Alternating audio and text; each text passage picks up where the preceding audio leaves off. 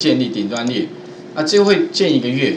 那我们哈把刚刚的地方哈把它重做一下，因为它原来是抓那个位置，可是这个位置现在已经不见了，所以你下拉清单，它现在点应该没效，这个点也没效，因为我把它搬家了哈。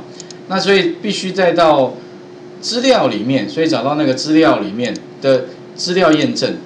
那清单这个地方来源，因为我把它搬家了，所以它找不到。那怎么办呢？F 三这边改成年，也就是说将来哈，我就把它放一个位置就可以按确定。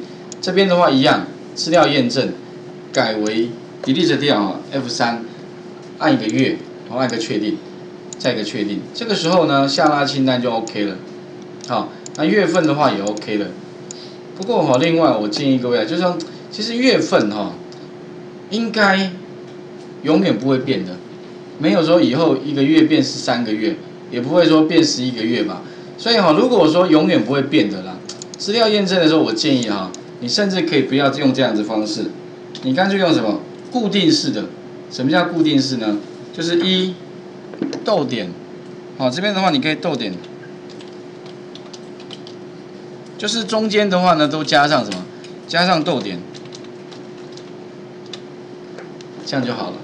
也就是以后你的下拉清单永远不会变的，或者几乎不会变的，那我建议你用这个方法。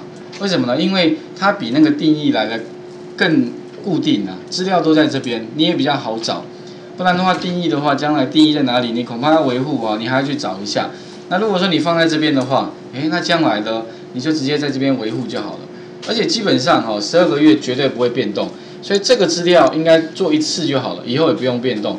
所以我比较建议，就以后如果你那个下拉清单的资料，啊，不会变动，像什么男女应该也不会变的吧，哦，不会在第三性吧，哈，哎，好像有可能哦，因为内政部好像在规划了哈，性别栏要取消或者性别栏要更改，哦，啊这边如果不会变动的话，那你就按确定，向下有没有一样结果都一样，所以看你哪一种方式比较弹性呢？因为资料验证哈。